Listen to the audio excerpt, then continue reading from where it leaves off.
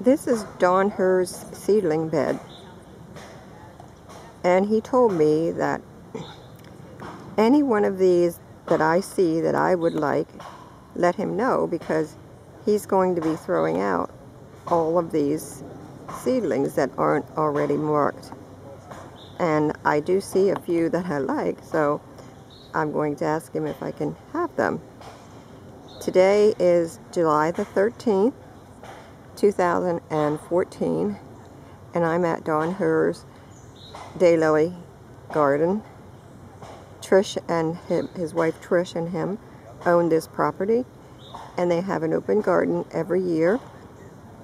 And this is what you see of their garden. It's so beautiful here.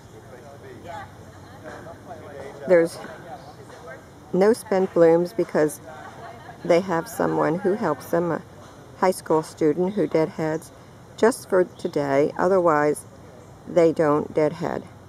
But you can also see he has a new crop of seedlings coming and they'll be blooming some next year. And he does this every year. He has a crop that's coming and then he has a crop that's blooming. He picks out the the best ones from the the ones that are blooming and saves them and the rest are all discarded. And Don's been hybridizing for over 10 years, maybe 15, 20 now. And he's a very good hybridizer in Pennsylvania.